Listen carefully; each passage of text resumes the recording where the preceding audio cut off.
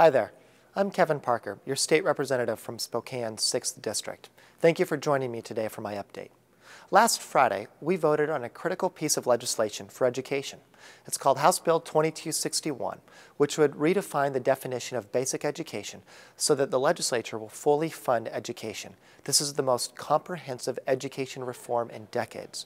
And a lot of hard work and thought went into moving forward with, ed with education funding reform. In fact, it's the only requirement that the state constitution asks the leg legislature to do. This proposal would hold the legislature responsible for doing more to advance the future of our students and break the cycle of poverty.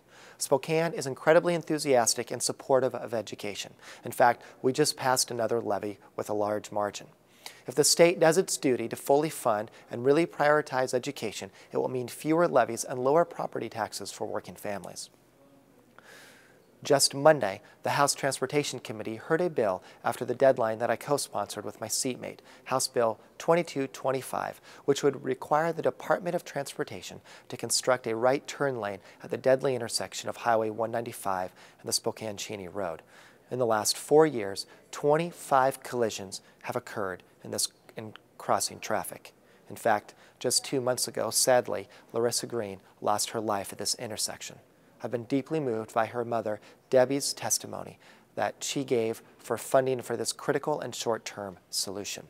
Please contact my office anytime with issues that are important to you. I'm Kevin Parker, and it's my deep honor to serve you. Thank you.